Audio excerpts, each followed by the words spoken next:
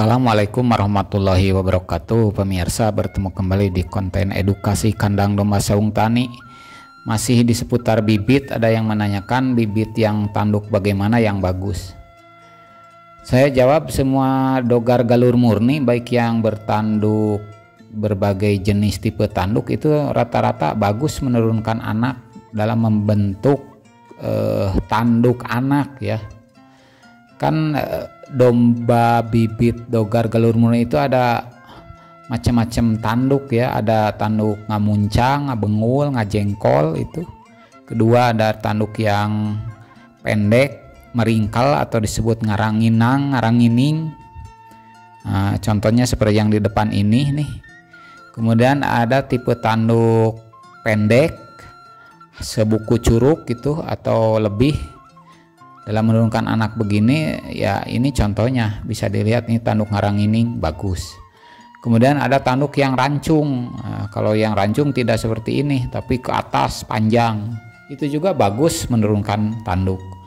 Jadi dari melihat ini kan melihat dari seperti ini yang meringkal begini eh, tanduknya disebut ngarang ini nah, kita tidak jadi patokan bahwa yang rancung akan bagus yang rang ngarang atau meringkal begini akan jelek.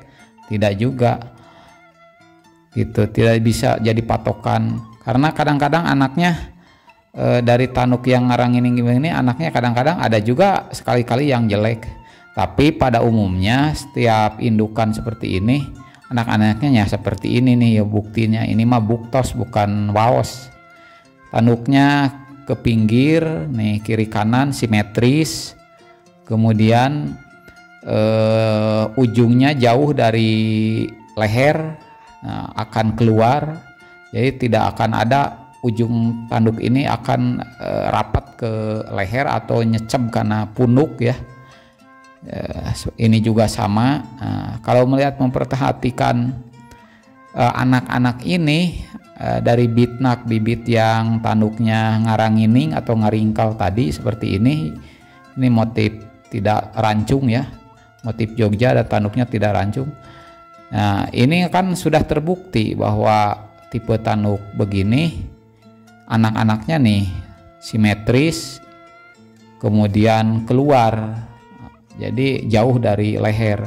Dan ini akan gaya doma doma petet ini akan tanduknya akan gaya akan bagus e, tidak akan nyecep karena punuk e, jelas keluar. Kemudian ini nanti kalau pengalaman ini akan berbentuk gayor karena makin dewasa makin e, keluar ujung kemudian pertengahan tanduk sampai puhu itu makin rapat ya makin rapat ke ke pinggir leher pokoknya enak aja dipandang. Kalau tidak percaya silahkan beli gede ke asal pakana yang bagus yang full perawatannya. Harus wajib hampas tahu kalau pingin uh, tanduk petetnya bagus gitu.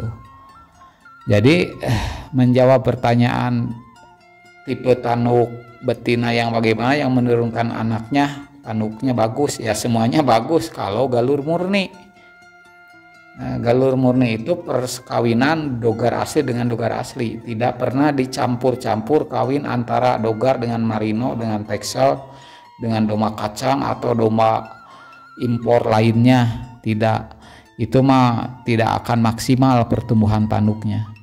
Hanya ini kebetulan di depan saya ini adalah contohnya yang tipe tanduk ngarangining. Ulang lagi tadi ada tanduk satu ngamuncang atau ngabengul atau ngajengkol, kedua tanduk ngarangining seperti ini merengkel. Ketiga ada tanduk yang pendek sabuku curug biasanya atau setengah curug. Ada tanduk tan, tanduk yang rancung yang keempat yang tanduk dogarnya itu bibit dogarnya panjang kemudian ke atas. Semuanya bagus asal keturunannya galur murni genetik asli dogar dengan dogar kawinnya juga dengan dogar dengan dogar. Di luar itu mau teori apa pun tidak maksimal akan disilangkan dengan uh, pejantan dogar uh, betina uh, domba impor atau sebaliknya. Walaupun sampai kapan pun itu tidak akan benar. Karena apa? Karena sudah campur.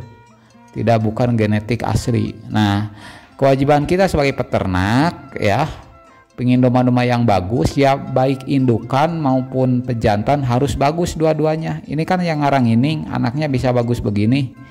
Nah ini baik anakan akan bagus begini ini baik jantan ataupun betina harus garut asli dua-duanya.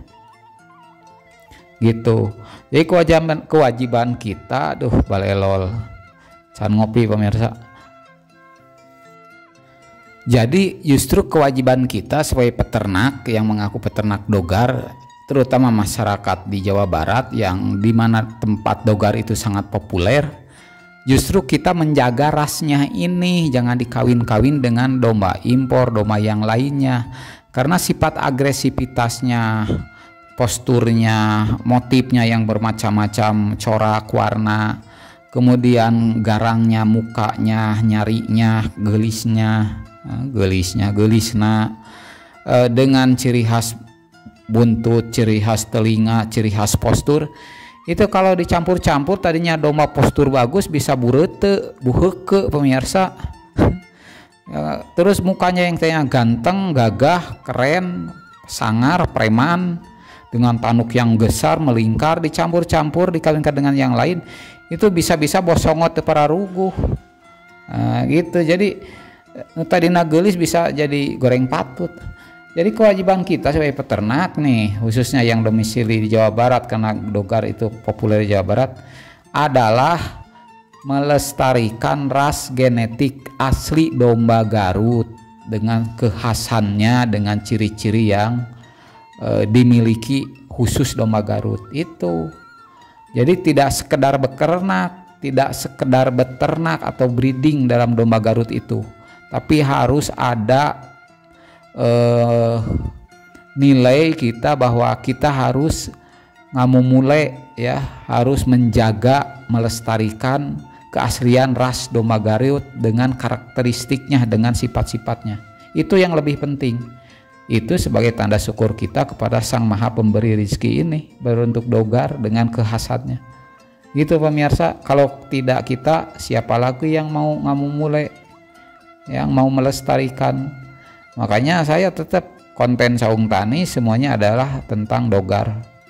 Tentang bagaimana mengedukasi para peternak pemula atau peternak yang ingin beternak domba Garut supaya kita satu pemahaman bahwa penting ini kita selain daging ujung-ujungnya penting kita menjaga rasnya keasliannya itu pemirsa, tetap semangat. Salam ngarit. Wassalamualaikum warahmatullahi wabarakatuh.